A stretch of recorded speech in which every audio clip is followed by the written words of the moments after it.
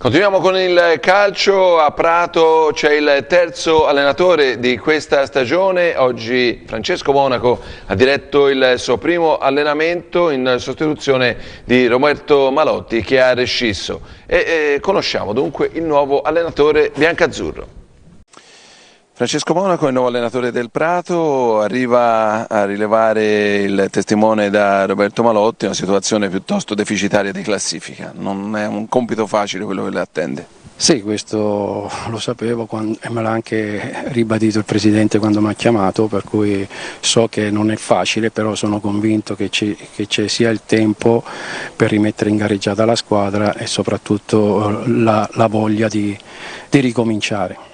Torna in Lega Pro dopo un paio di anni, ma in questa categoria chiamata in altri modi nei tempi passati è stato protagonista, l'abbiamo vista qui a Prato nel bene e nel male per quanto la riguarda sia al timone della Cararese che batte il Prato nel playoff di C2 sia eh, con il Piacenza che perse il playout di C1 ma anche in precedenza insomma lei successi con l'Ancona, giocatore nella Lucchese che eh, campionato ritrova e che cosa si aspetta di fare con questo Prato? Eh, innanzitutto sono contento di ritornare in questa categoria e poi è normale che noi non dobbiamo, fare, mm, non dobbiamo pensare troppo a lungo, cioè dobbiamo pensare una partita alla volta cercare di, di, di, trarre il massimo di una gara iniziando già da, da, domenica prossima.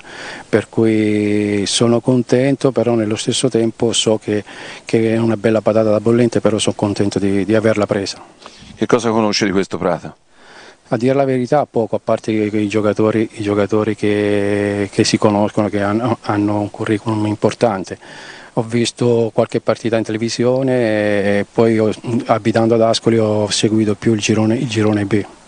Dal punto di vista tattico come pensa impostare il suo lavoro? Beh, innanzitutto mm, penso di partire con la difesa a 4, poi sia in mezzo che davanti vediamo un attimo di sfruttare al massimo le caratteristiche dei, dei giocatori.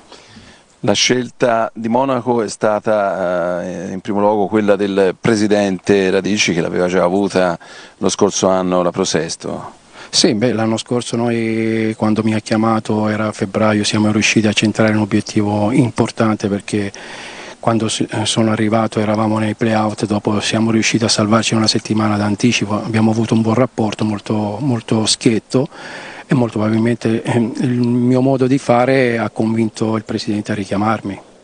Non l'attende, come avevo detto, un compito facile, in bocca al lupo. Crevo il lupo.